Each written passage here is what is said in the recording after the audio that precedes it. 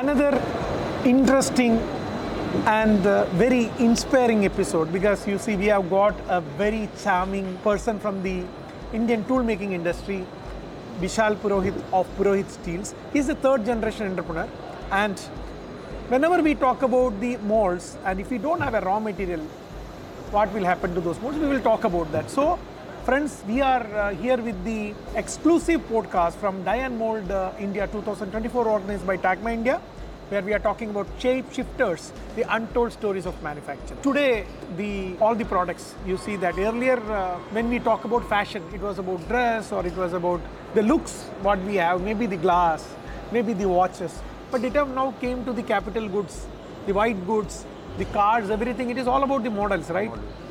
And i believe to give that shapes there are a lot of people in the industry who works uh, the tool makers and uh, your company from its start is very closely working with the uh, tool makers being a young generation entrepreneur how do you see the evolving journey of indian tool makers First of all, I would like to thank you, Mr. Hari Shanker and Machine Maker to have this opportunity for us. And we all are very proud to be a part of the Tagma, the die and industry of India, which is very amazingly growing well. They are every year they are growing at very rapid numbers. Minimum and double in double all the tool makers are growing. So that shows that India is on a very good potential and the way ahead is beautiful. Better than this, whatever is happening. Me being into the tool industry since uh, last my company, so it's being since last 54 years we are now in the industry. I'm the third generation, as you said. So I remember talking, my grandfather, my father talking about making molds, which was when it took two years, two and a half years to make one single mold. And now I can hear like you get in two weeks, two weeks you get a good mold ready to build. So that has become the evolvement from two years to two weeks. It's a very big change. And India has adapted to it and India is doing at a very good level, very, very great pace. All thanks to all the innovations and adaptability, all the tool makers upgrading themselves every year, getting new machines, getting new technologies, investing their time, their energy, effort, money, everything into it because Make in India is there. Make in India is giving a very good boost to everyone and all the tool makers I say every each and everyone is doing a very excellent job at their own level, their own pace. But yes, India is growing and we are with them. So if I tell you 20, 25 years before that, there was not these tool steel. People used to make molds in mild steel, then came C45, then OHNS. These all grades were there, but now high hard grades have come, pre-hardened grades, 2311, 2738, high hard, high gloss, ESR, this, that. And people have also adopted them. They are given their time, money. And so now you can see so many textures, so many polishes, so many finishes. So this all has become now staple. Every now and then people need new things, new finishes, aesthetically appearing good things. Not only aesthetic but also uh, what do you say the uh, the usage of those things like cars, better cars, better features, better appliances or whatever. Everything has to be better and better day by day. I thought steel is just a steel. But uh, listening to you, I am understanding you, the, the companies you represent, the manufacturers need to work very uh, hard on it to improve their, uh, Yes. uh, you know, performance by giving maybe uh, the innovations R&D. Is it is it happening or is it the steel what they are giving? It's a steel. The steel, like we work with NLMK Verona, which is an Italian company.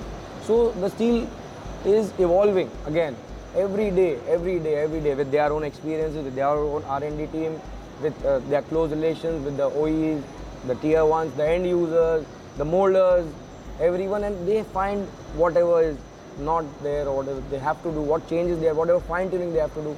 So every day the steel is getting better and better. So now Look, it's not just the steel.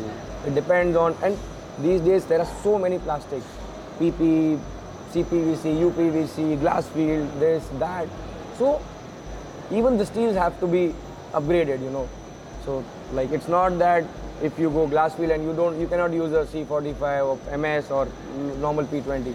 It has to be high hard or some hardened tools must be used. So even we have to upgrade ourselves. And now these days the cycle times have gone down, and the tool life they want 10 High- lakh shots, production. 15 lakh shots, and everything is like in cycle time. Everything is And, and that will, uh, the, the selection of these raw materials makes a difference in this. A lot, a lot. That is the main thing actually. You cannot use a Maruti if your driver is not well, or you cannot use a Mercedes if the road is not well. So there are many factors to it, but using the right kind of steel gives you the best results. Again, because you have to have, being an engineer, costing is the best, the most important part. So however good mold you make, but if it doesn't suit your costing, it doesn't make sense. But now, yes, people are trying new grades because the grades are costlier. But so per kg, uh, spending per kg is okay, but reducing the timelines and per piece production cost has to come down. So people are thinking in that way now. Like spending more on steel doesn't make a lot of difference, but yes, spending more on per part production that is the main key to. Reducing the timeline Yes. is one of the biggest challenge we are facing biggest because China is giving a good tough competition. yes. They are automated uh, their complete process and they can. Hmm. But here uh, it's all the tool makers who are building it. Yes. No, you already told that in India. For example, uh, I had in this podcast before, we spoke to Opinder Saab, Opinder Okay. Singh of Om Okay, Galaxy. Om Galaxy. So we can say that his father, uh, Sri Bachatar Singh, you know, Yes. he learned himself seeing the molds, started in MS and all those things. Now you yourself told the tool makers have changed their complete uh, capabilities. We are able to produce, the Indian tool makers are able to produce world class World molds. True. Now, India, even being a second largest steel manufacturer, we are not able to produce uh, the uh, steel required for today's tool making capabilities, be it dies or even many, many special applications. We need to import. And I am seeing that many European companies, like you represent the Italian company, so all these European companies are actually dominating this market. So why you think that Indian Tata is not a small company? You know, Jindal is not a small company. So we ArcelorMittal, everyone is having here Nippon. But why we are not able to produce these special grades uh, steels which is required for the tool makers in India? So there is a small uh, thought process before in this. Uh, if you say about Tata or Jindal or anyone else, so their manufacturing is huge. Huge is I can give you examples. For example, one plant of one any one of them, and their one rolling line, they produce one lakh fifty thousand tons a month. So per day it's around six thousand tons. And what about the tool steel consumption of whole India? Whole India, all grades, total of it, it is not more than 2 lakh tons. Okay. So there is huge volume gap.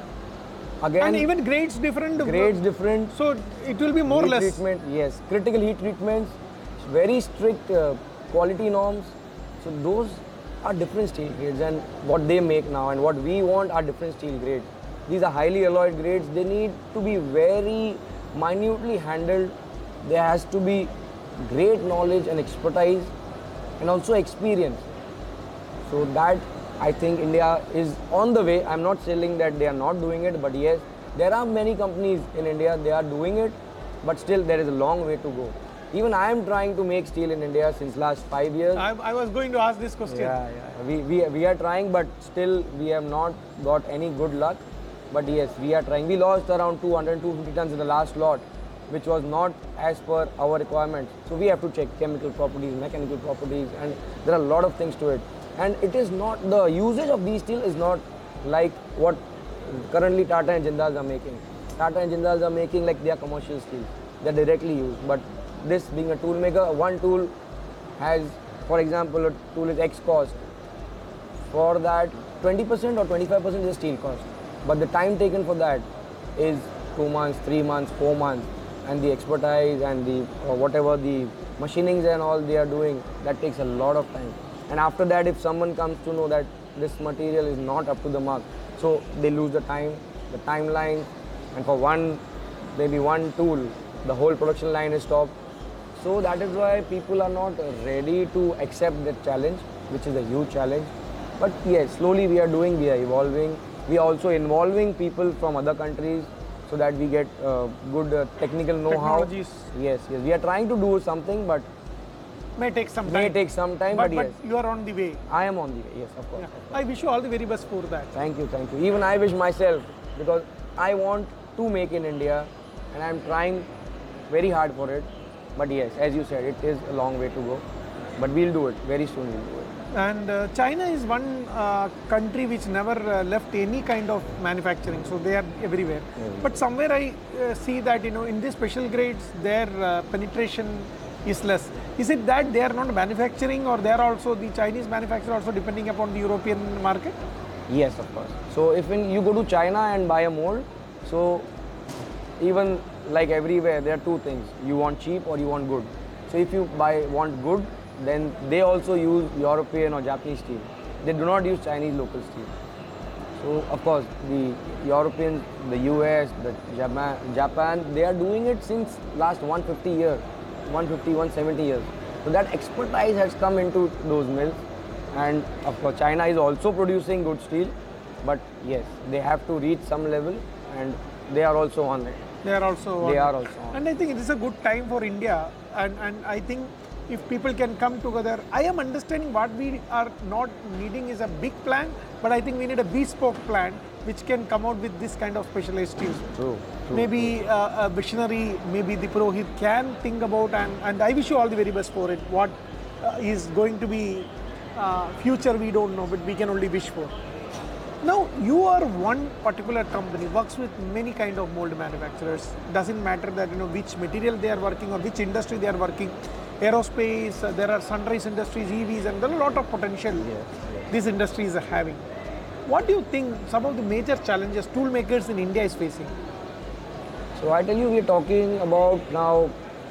If I we are concerned, Purohit is concerned, we are into every sector: plastic mold steels, automotive, uh, caps and closures, household, industrial, appliances, medical, every everything. Again, in hot work steels, forgings, die castings, press tools, we are everywhere. So major challenge these days people face like everyone says that I can buy a machine, but for one machine I need two operators.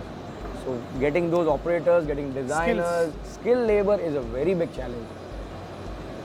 And of course, the payment cycles of everyone is These are the real challenges. Real, actually. real challenge. I can tell you, I, I don't want to blame anyone, but this is how the industry is working, and this is where we need to work on, because being the mother of all industries, this industry is given the least importance. Least importance, and I tell you, Make in India can only be 100% successful only and only if this industry flourishes. And plastic is something which we cannot remove now. Remove. Every industry plastic is Yes, there. yes. And if you need to really give a shape for the plastics, you need a need tool maker. tool maker. And again comes with the press tools or automotive industry uh, for the other die casting products, you know. I think again you need die. Dies, dies. You need dies everywhere. Every you cannot uh, remove dies and then do make in India. Start has to be there from the die. So machine manufacturing is a big thing, which is, of course, they are doing in a very good way. Everyone like Gujarat or South, uh, uh, Chennai or uh, Coimbatore, they are doing very good way. But still, we have a long way. We still import a lot of steel, or sorry, we still uh, import a lot of machines from abroad. So that will change slowly, slowly. We are, we are seeing that change. See, you also travel across the world, right? So seeing different uh, exhibitions and seeing different uh, uh, industries or seeing different economies.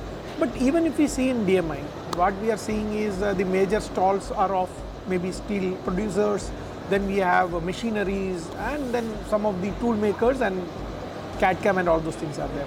But if you are seeing an integrated automotive solution for a tool maker, it's still missing in India. And automation, we are talking about speed market, faster delivery. But your automation also will make a big impact. Big impact, huge. So how you think that uh, we can go to that? The tool makers can look into that uh, area. I'll give you some one example. Like there is a company in uh, Daman, which is a injection molding company. So they have uh, gone into uh, dark factory. The whole company, like they have around uh, 120 molding machines, and it's the whole dark factory. Only packaging is done by hand. And why they have done by hand? Because they don't want to lay off those guys. So in India, in India is a very emotional country. So even if I shell off 10 people, the company won't like it. That why do we shell it? It's better to keep them and have some SOP set or something we can do in between them.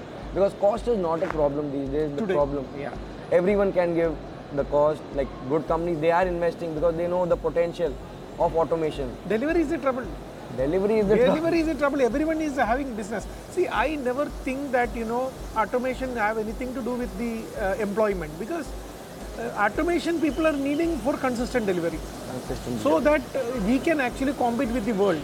Yes. But I think that I also agree with you. Before COVID, if you see, whenever people talk about automation, they are telling ROI नहीं मिल रहा है. ROI. अभी ROI तो उसके Automation is doing well and is possible in manufacturing, not in tool making. अच्छा In tool making, every mold is different, everything is different. So automation is SOP sir less. yes less SOP. But still, there are like automatic tool changers, automatic mold changers. These all things are there, but the level in which uh, production goes, So tool skill is still very skill important is for tool makers. Yes, skill is very important. And I think Tagma is also doing some kind of Yeah, yeah, collaboration with the government, the Yes. private sector, and coming out with a tooling academy or something Right, like that. right, right, right, right. So actually, it was very interesting discussion, and uh, there are so many things we can still discuss upon. Very but much, let very me tell you, when I go to this DMI Die and Mold India exhibition, one person who is always busy, and today I was just, you know, catching his hand and coming here. किसी को मिलो नहीं, मेरे को focus करके आ जाओ and Vishal is so uh, dynamic, let me tell you, and he's very passionate, and I'm very happy that you joined with us in this discussion. For us, die mold or any other exhibition is not like getting new people. It is a greet and meet like of thing. Everyone knows everyone now. It is a it's become a family. Die mold has become like a family. So everyone is close to everyone and everyone is supportive, helpful. Everyone wants to grow. Everyone has that uh, heat in him, the passion in him to grow and this is how we are growing and we are enjoying our life. Thank you very much, and I wish you and Purohit, and I would like to see a Purohit steel. Huh? Sure, Huh? sure. And that is what our vision. And uh, where we we pray to God, Jai Shri Ram. Jai Sri Ram. Jai Shri Ram. Thank you. All the best. Thank you, thank you, Harish. Thank you very much. Wish you all the best. Thanks. Thank you.